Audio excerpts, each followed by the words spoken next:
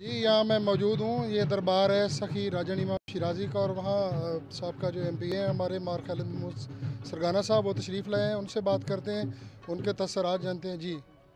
जी बिस्मिल्लाह रहीम मैं सबका शुक्रिया अदा करता हूँ कि अब चादर पोशी पे सारे शरीक हुए और बाबा सखी राजन इमाम का जो उर्स है, ये बड़ा पुरजोश और पीर वाला और सराउंडिंग जितने भी इलाके हैं